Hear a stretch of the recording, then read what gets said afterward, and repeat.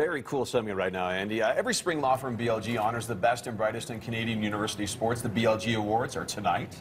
Our next two guests, a couple of basketball players, are among the eight nominees. There are four male, four female. Uh, Philip Scrubb is from the national champion Carleton Ravens. Justine Colley is a four-time Atlantic Conference scoring champ from St. Mary's. Uh, thanks for coming in this morning. You guys were telling me you got into town over the weekend. You've been going from event to event to mm -hmm. event, but we appreciate the time you're making for us today. Um, Justine, this is your second nomination, right? I mean, what does it mean to get nominated twice? Well, I mean, the group of athletes that they have here, they're a phenomenal group, and just to be in the same conversation as them is a huge honor for myself. Um, I mean, I can't really put into words. The event the BLGs puts on is amazing. They do an amazing job, and they really treat us like royalty. It's been a great weekend so far. That's cool. How about you, Philip? How's it been for you? Uh, pretty cool. Yeah. Uh, coming to university, I never expected to be doing something like this. Uh, coming all the way up to Calgary and uh, being with these great athletes. So uh, it's been an honor to represent my university, and uh, I'm just lucky to be here. Um, Philip, I'm going to stay with you here. Your university, um, your, your team this year, um, not only the national champs, but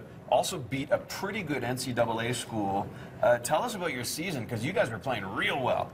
Yeah, uh, we had a first uh, good first couple games uh, against NCAA teams, and uh, we were surprised to beat them, and they ended up having a pretty good season. But it was an up and down season, and um, we went through couple rocky phases, but um, in the end, uh, everything kind of worked out. Yeah, and you're you're not going to go for the NBA draft this year, right? You're going to come back to school. Is that right? Uh, yeah. Yeah. decided pretty early I was coming back. I Wh Why? I'm just curious. Um, well, honestly, I didn't think I had a great chance of being drafted. Okay. And, sure. Uh, I could get a lot better in university, so that was the main. Improve a little bit more, right? Also yeah. finish your degree, I bet exactly, too, right? And Justine, how about you? I know you, are both in commerce. Mm -hmm. um, Justine, talk about it. It must be tough to balance all the schoolwork you got to do and of course all the court work you have to do. Yeah, right? definitely. I mean, it's a full-time job being a student athlete, yeah. and then you plus you have school on top of that. So I mean, it makes it a real challenge to make sure that you manage your time wisely, so that you can get everything covered in your days for sure. Uh, so Phillips coming back for another season. Are you, are you done now? Or? Yeah, I okay. played my fifth and final year. Yeah. Um, so yeah, what's next for me is a work opportunity with RBC. Nice. And uh, we'll see what the future holds. Okay, and, and you were just playing at the national level recently, right? Tell yes. us about that.